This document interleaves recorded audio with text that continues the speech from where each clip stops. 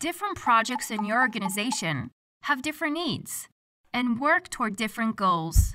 For instance, a software development project bears little resemblance to a project set up to manage internal events. To meet all kinds of diverse demands, Zoho Projects comes equipped with a host of customization options to help you tailor projects to suit your specific requirements.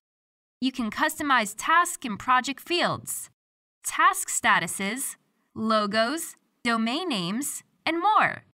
Let's take a look at custom fields for projects.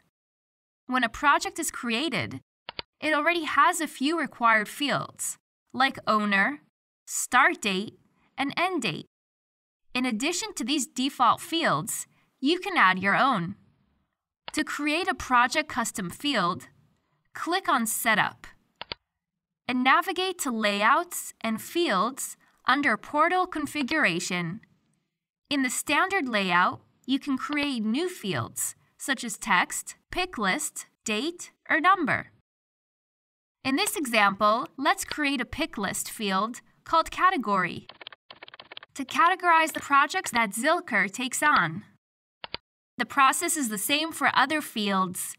You can remove the fields that you don't want to use in your projects. They will still be listed under the Available Fields tab, and you can reuse them whenever needed. When you create a new project, the newly created fields will be listed with the default ones. Now, back to our portal configuration page. To create task custom fields, switch to Tasks tab in the left menu. Initially, all of your projects will be automatically associated with the standard layout with the default fields.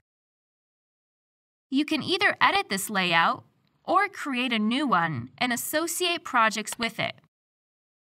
To illustrate this feature, Let's create a software development layout for Zylker.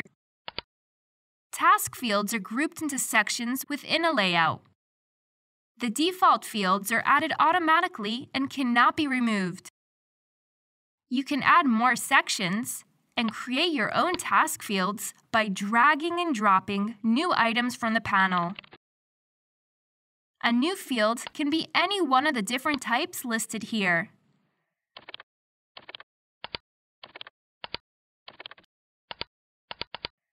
Once created, these task custom fields are available in the portal and can be reused in as many layouts as you like. Second in our list of customization options is the Task Custom Status.